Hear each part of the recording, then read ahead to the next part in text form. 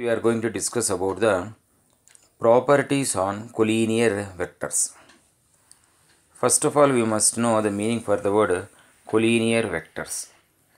The vectors which are lying on the same line, we will call them it as collinear vectors. Now, we are going to discuss some of the properties of the collinear vectors. For first point, we will consider two vectors. One is known as A, the other one is known as B, which are parallel. If two vectors are parallel, then if and only if angle between the two vectors A and B is equals to 0 degrees or 180 degrees. Here we have to remember the thing, one thing that is, if AB vectors are parallel, then we can say that angle between the two vectors is either 0 degrees or 180 degrees. In the same way, if we think about the converse, if the angle between A vector and B vector is equals to 0 degrees or 180 degrees, then A, B vectors are parallel vectors. Next, coming to the second point. Here, in the second point, we are going to take two vectors known as A and B, which are like vectors. Like vectors in the sense they are having the same direction.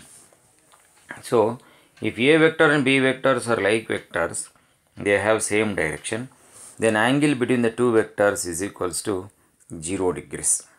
Now coming to the converse, if angle between A comma B two vectors is equal to 0, then they are called as uh, like vectors because here also we have if and only if condition.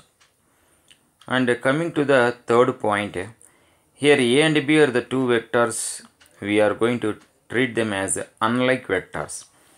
What is the definition of unlike vectors? The vectors which do not have the same direction means they will have different direction. We will call such type of vectors as unlike vectors.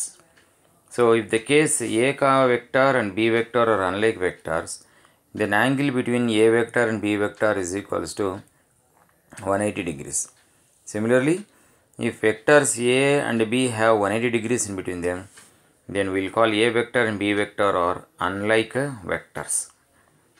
And coming to the last point, uh, zero vector, that is the magnitude becomes uh, zero. Or the other way to call zero vector is known as null vector. So null vector or zero vector is parallel to every vector. Even zero vector is parallel to zero vector. That's why we are using the word zero vector is parallel to every vector.